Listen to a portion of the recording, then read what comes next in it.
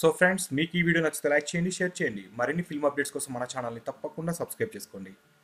Mega prince Varun Tej Harish Shankar కాంబోలో fourteen reels plus బ్యానర్పై రామ్ అజంటా గోపి అజంటా నిర్మిస్తున్న చిత్రం వాల్మీకి. ఇటీవలే విడుదల చేసిన టీజర్ ట్రైలర్ అలాగే లిరికల్ సాంగ్స్కి సూపర్బ్ రెస్పాన్స్ వచ్చింది.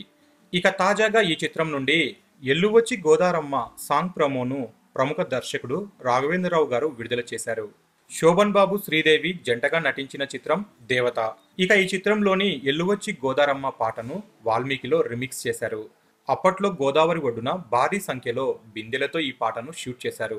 శోభన్ బాబు శ్రీదేవి వేసిన స్టెప్లకు ప్రేక్షకులు పరవశించిపోయారు. వాల్మీకిలో వరుణ్ తేజ్ తన ప్రేయసి పూజ హెగ్దెని శ్రీదేవిలా ఊహించుకునే సందర్భంలో ఈ పాట వస్తుందట. ఇక ఈ పాటలో వరుణ్ తేజ్ పూజ హెగ్దెల గెటప్స్ కెమిస్ట్రీ అదిరిపోయాయి మొత్తానికి ఒరిజినల్ పాటకు ఏమాత్రం తగ్గని రీతిలో అద్భుతమైన విజువల్స్తో ఈ పాటను చిత్రీకరించారు. ఇక ఈ పాటలో పూజా హెగ్డే వరుణ్ తేజ్ అదిరిపోయే స్టెప్లతో ప్రతి ఒక్కరిని ఆకట్టుకున్నారు అనేసి చెప్పవచ్చు. ఈ పాటను కొరియోగ్రాఫర్ శేఖర్ మాస్టర్ ఆధ్వర్యంలో యానం దగ్గర ఇసుక తెన్నెలపై సెట్ వేసి ఐదు రోజుల పాటు చిత్రీకరించారు. ఒరిజినల్ సాంగ్ ఫ్లేవర్ ఎక్కడా మిస్ అవ్వకూడదని ప్రతి చిన్న విషయంలోనూ చాలా జాగ్రత్తలు తీసుకున్నారట. ఈ పాట కోసం పన్నెండు వందల బిందెలను తమిళనాడులో తయారు చేయించడం విశేషం.